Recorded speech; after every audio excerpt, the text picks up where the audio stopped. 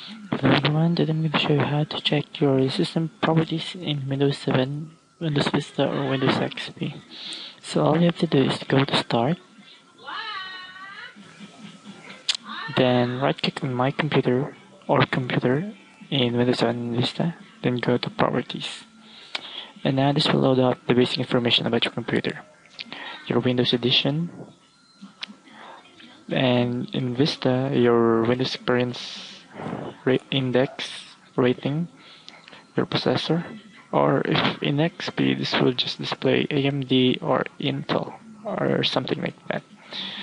And they will put there your processor speed. So I have mine as 1.88 gigahertz.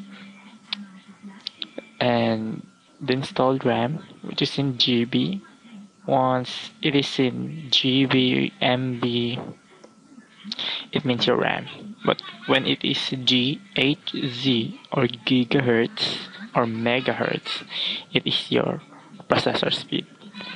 So your system, my system type, it is only available in Windows Vista and Windows 7, 32-bit. Pen touch, computer name, um,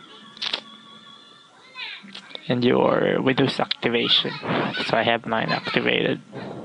So I just don't want let you see here because that's my own product key.